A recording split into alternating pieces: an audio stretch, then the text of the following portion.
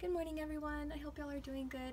Today I wanted to show you guys a transferring activity that you can do with a tea ball.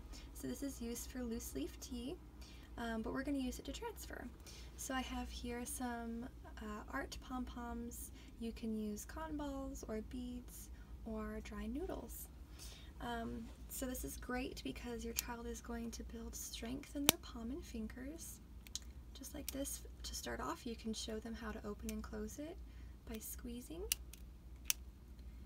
And then we're going to go in and show them how to transfer. So we're going to transfer all of our pom-poms from one bowl to the next.